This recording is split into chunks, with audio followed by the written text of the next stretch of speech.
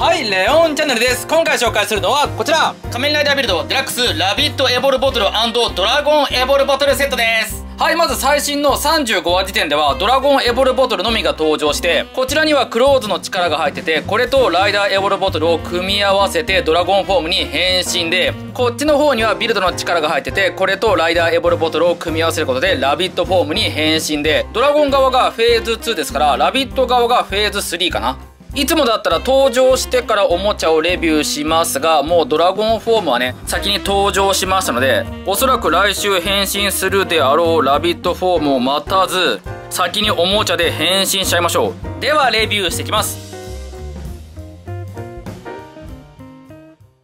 エボルボトルはちょっと形が変わってますが、定価1000円で普段のフルボトルと価格そんな変わんないんですよね。おー本編で乗っ取られた龍河が持ってたやつだ。メタリックの成型色なんだね。こっちがドラゴンでもう一個がラビット。結構色明るめ。はい、中身はこうなってて、ラビットエボルボトルとドラゴンエボルボトル。まず、ラビットエボルボトルの全体をぐるっと見回すとこうで、正面、上側、下側で、ここにはラビットのマークがあって、エボルマーク、キャップ回転がありますし、ウサギが飛び跳ねると箱に書いてありましたが、この部分にメカ的なウサギがいて、これを指で弾くことで飛んでる風になりますね。あとはキャップ側のピンを押しても上下アクションするような形で、内側のこのモールドの入り方とかは、何気にこれまでのエボルボトルと全部変わらなくって、実は新規パーツってこの辺りのみなんですよね。で、パーツを押さえながら振れば、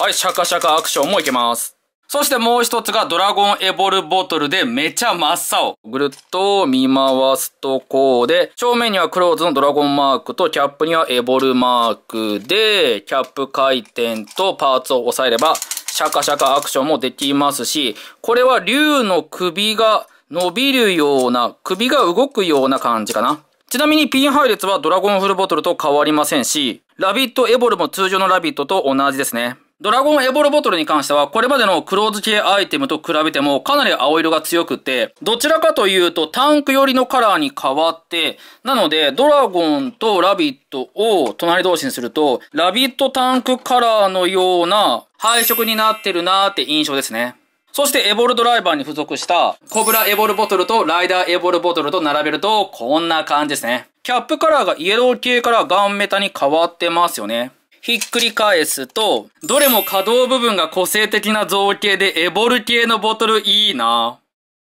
ではまずはドラゴンフォームから変身しましょう。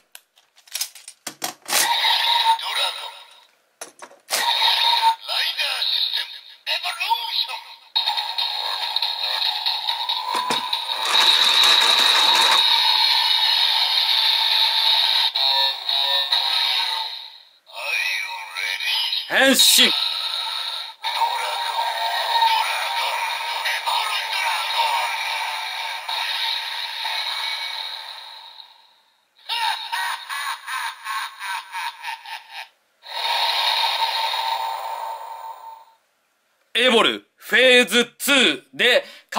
ダーエボルドラゴンフォームに変身完了基本はコブラフォームと同じような感じで、ボトルの名前を3回言う感じで、コブラ、コブラ、エボル、コブラだったのが、ドラゴン、ドラゴン、エボルドラゴンに変わりましたね。本編だとストーリーに集中して変身をよく聞いてませんでしたから、改めて聞くとこういうサウンドなんだな。さらに必殺技。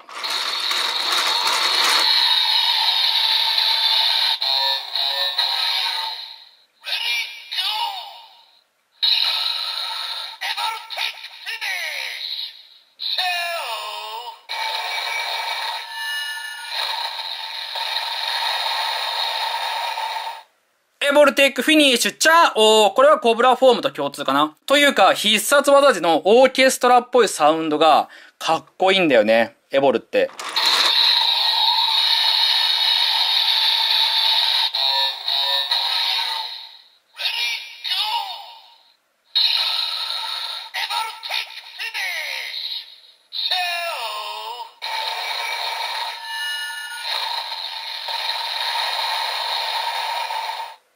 ではさらに、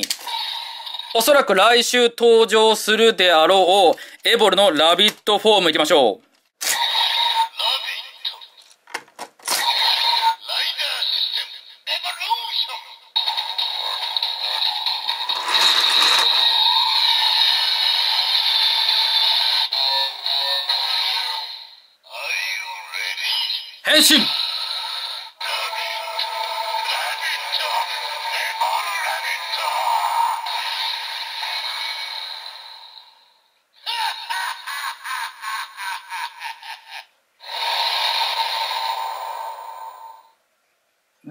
エボル、フェーズ3かな？そして、ラビット、ラビット、エボルラビットのところがエコーかかってて、ダークライダー感すごいですね。これまでラビットって言うと、セント側の正義の味方感が強かったですけど、言い方でこんなに変わるんだな。そして、レバーアクションでウサギがジャンプ。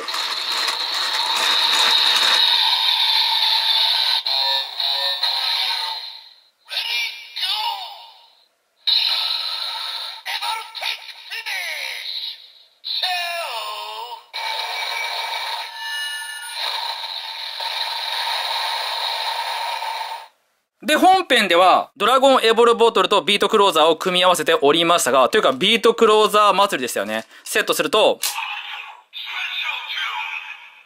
スペシャルチューンでちゃんと、必殺技発動いけますね。しっかりとエボルボトルがセットされております。ドラゴンの顔も見えるし、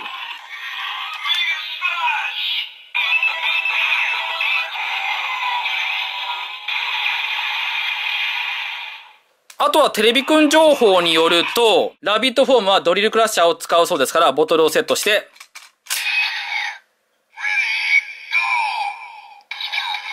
大気温からの。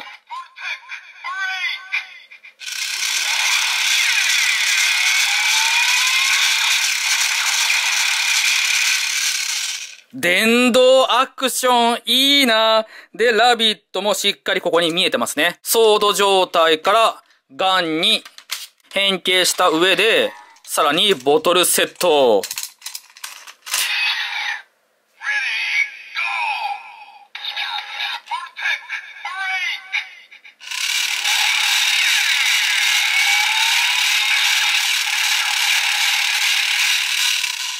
という形で本編で使われますね。今週の放送でビートクローザーが欲しくなった人は多いはず。なので、ピン配列自体はこれまでのドラゴンとラビットと変わりませんから、例えばフルボトルバースターにセットしても、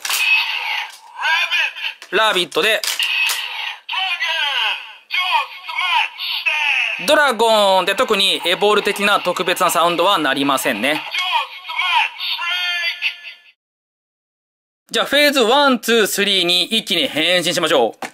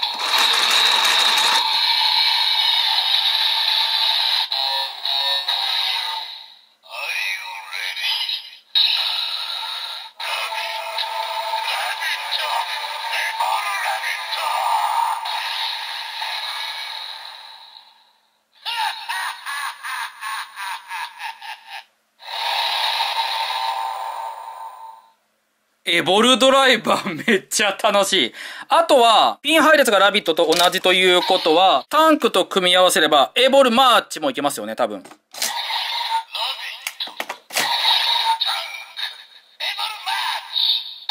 そうですね。ベストマーチ的なエボルマーチもいけます。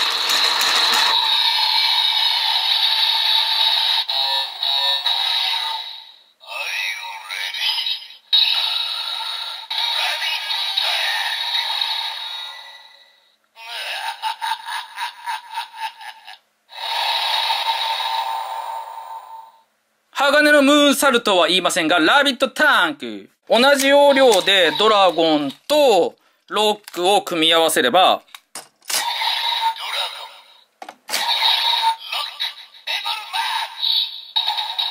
はい、こちらもエボルマーチ。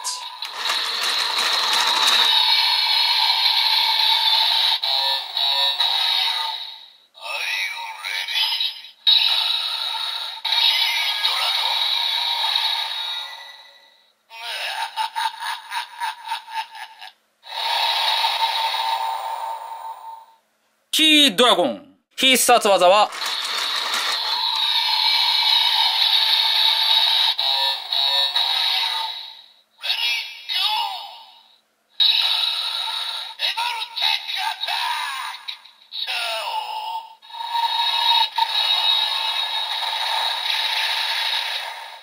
はい、フィニッシュからアタックに変わりましたが、これは共通サウンドですね。というか、ロックフルボトルってキャンペーン限定アイテムの割に、60本のうちの1本だったり、キードラゴンフォームとか、ガイムフォームとか、あと最新話のキードラゴンハザードなんかもありましたから、作品上でめっちゃ使われてますよね。さらに今回のこの2本のエボルボトルをセットするとどうなるかな？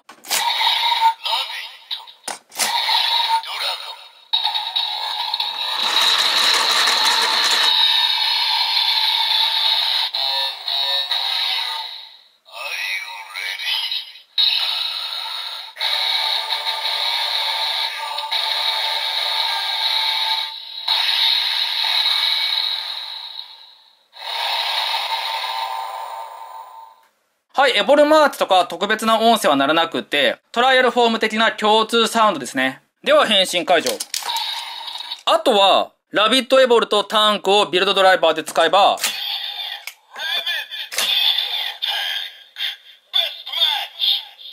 はい、ベストマッチこちら側でもちゃんと上下アクションしますね。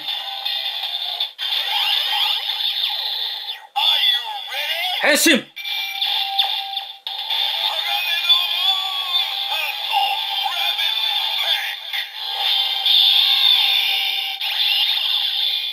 たピン配列が同じだから、ちゃんと鋼のムーンサルトになりますね。ということは同じ要領で、ロックと、ドラゴンエボルを使えば、ベストマッチ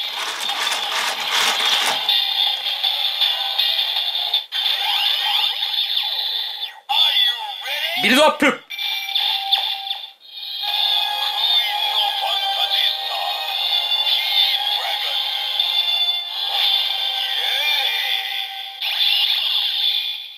こちら側も封印のファンタジスタキードラゴンでベストマッチサウンドを鳴らすことができますね。というか、ビルドドライバーでもちゃんと上下アクションがあるのがいいなぁ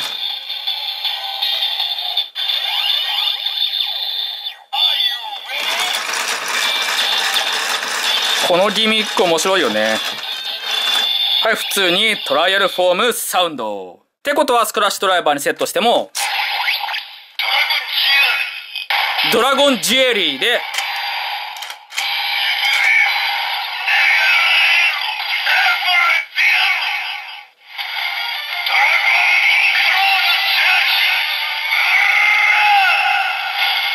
はい、クローズチャージに変身完了。そしてここにドラゴンの造形がある見た目。悪くないね。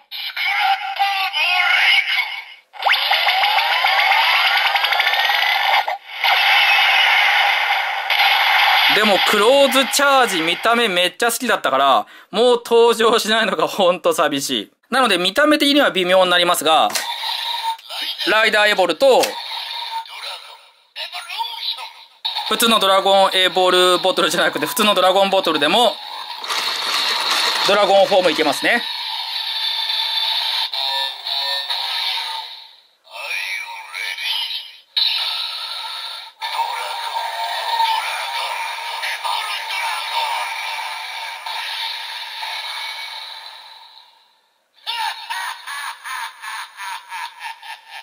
でも、エボルドラゴンのボトル見た後だと、やっぱ寂しいな。同じ要領でラビット。